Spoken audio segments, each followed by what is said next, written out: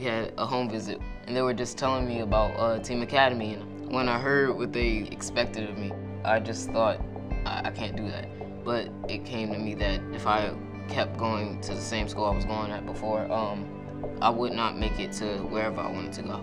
In schools like Team Academy, you can be the smart person you want to be. The advantage of a charter school is that we're free to innovate as we see fit. We can develop our own curriculum, we can hire the best teachers we want. There's no one way, there's no typical student. We're definitely committed to doing whatever we need to do in order to get our kids to do the best in which they can. Our hope is that what we achieve here becomes a ripple effect and that if we can get our students in and through college, that everyone else in Newark can too.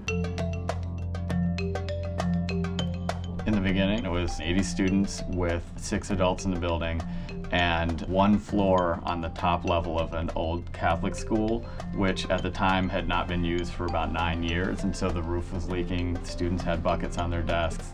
Yeah, just decrepit. it, was, it was really bad. The building was highly under construction, but I guess you can say the most important part of the building was that I was learning.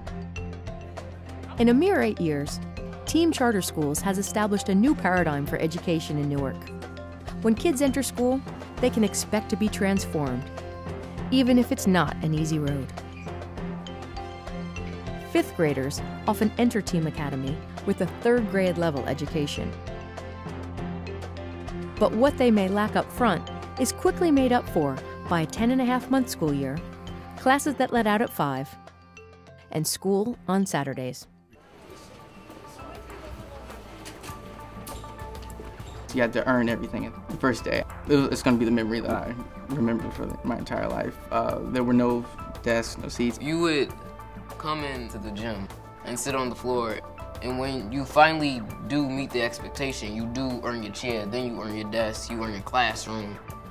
At first, I was used to having my chairs and my desk and my clothes.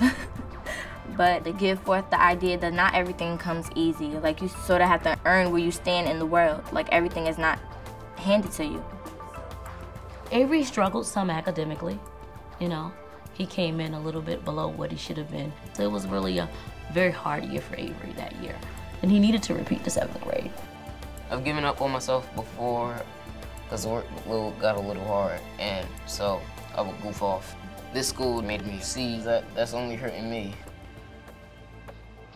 With eighth grade nearly complete, Avery has his sights set on Team Charters High School, Newark Collegiate Academy.